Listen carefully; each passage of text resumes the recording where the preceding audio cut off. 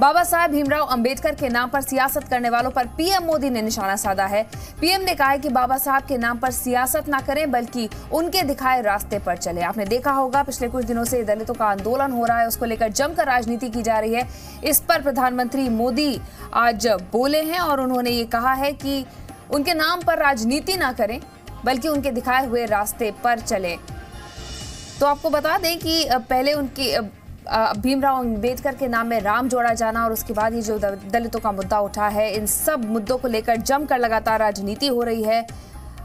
और इसी पर प्रधानमंत्री मोदी ने आज बयान दिया है और उन्होंने ये कहा है कि इस पर सियासत नहीं करनी चाहिए। अंबेडकर के बताए हुए रास्ते पर लोगों को चलना चाहिए। बाबा साहब को राजनीति में घसीटने के बजाय बाबा साहब आम्बेडकर ने हमें जो रास्ते दिखाए हैं, उस रास्ते पर चलने के लिए हम सब अगर प्रयास करेंगे जिसके अंदर बंधुता इसका महात्मा है, उस बंधुता को छोड़ करके हम कभी आगे नहीं बढ़ सकते हैं।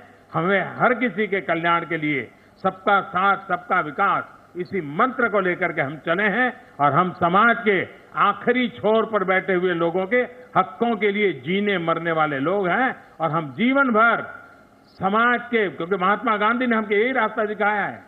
कि समाज का जो आखिरी छोर पर बैठा है, उसकी सबसे पहले चिंता करनी चाहिए और सरकार की जिम्मेवारी होती है और सरकार उस दायित्व को निभा रही है। रविंद्र हमारे साथ मौजूद है। रविंद्र, लगातार अंबेडकर के नाम को लेकर राजनीति हो रही है और अब पीएम की इस बात को किस तरह से देखा जाए?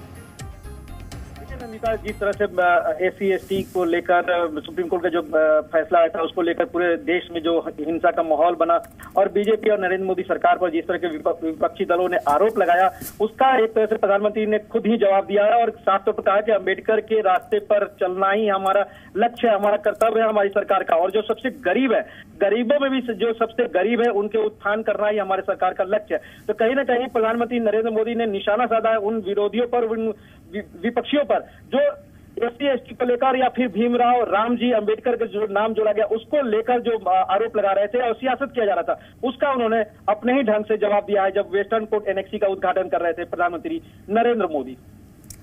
बिल्कुल, और प्रधानमंत्री से ज़्यादातर विपक्ष की एक नाराज़गी रहती है कि पीएम कुछ नहीं कहते हैं या पीएम ने खुद कहा है। अब देखना होगा कि इस पे किस तरह से रिएक्ट करता है विपक्ष।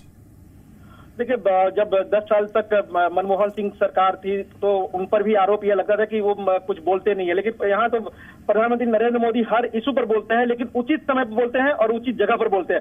आज वही उचित समय था और उचित जगह था। इसलिए जो विपक्षी दल आरोप लगाता है कि प्रधानमंत्री किसी चीज़ पर नहीं बोलते हैं तो उनको भी करारा जवाब था कि हम बोलते हैं, गरीबों के लिए बोलते हैं, सबके लिए बोलते हैं, लेकिन हमेशा अनर्गल बात नहीं कहेंगे जो सही होगा जो सही जगह होगा वहीं पर बोलेंगे। यानी विपक्षी दलों के हर आरोप का प्रधानमंत्री नरेंद्र मोदी ने जवाब दिया है। शुक्रिया रविंद्र। प्रधानमंत्री मोदी कहीं ना कहीं ये भी बताते हैं कि हम काम कर रहे हैं हमारी सरकार काम करने के लिए आई है और हम काम कर रहे हैं और इसीलिए हम राजनीति में नहीं फंसते।